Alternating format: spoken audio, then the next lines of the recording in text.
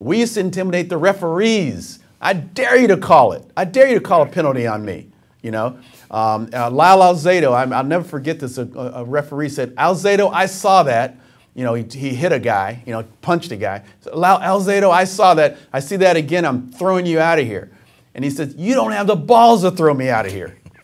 You know? And he didn't get thrown out, you know? Um, it was it was a high point of my career. I didn't know it at the time, unfortunately. You know, only when I look back in retrospect I realized. And even getting the interception in the Super Bowl, uh, only in retrospect did I realize how big that was. At the time, it was a it was a, a big game in my life. I thought I would play in several more Super Bowls because that was what motivated me to work so hard every year in the off season.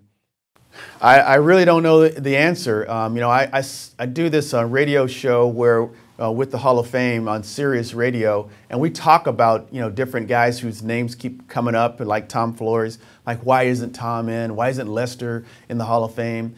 Uh, and um, there's really no real justification. He had a Hall of Fame career, uh, and and and as as we start off this segment about you know talking about different changes, the game has kind of changed. Things have changed, and so sometimes.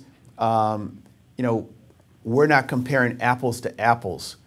Uh, like, yeah, he won two Super Bowls. Madden only won one Super Bowl. You know, shouldn't he go in because of that? Well, there might be other things that I'm not aware of, uh, the fans aren't aware of, and so uh, we're not, we're, we may not really know for sure. You know, maybe the, the Madden game had something to do with John Madden going in the Hall of Fame because of his contribution to the sport. Uh, and so we don't, we just never know. Um, but I'd love to see Tom Flores in as, as well as a lot of other good players.